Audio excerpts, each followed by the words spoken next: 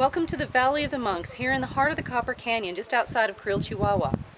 This beautiful area, as you can see, has wonderful rock formations that reach up into the sky. The Raramuri people find this a very spiritual and peaceful place to come. We think you will too. On your next trip to the Copper Canyon, come with the Three Amigos and Amigo Trails and visit the Valley of the Monks, as well as the mushrooms and the frogs. We'll show you the entire area around this magical place.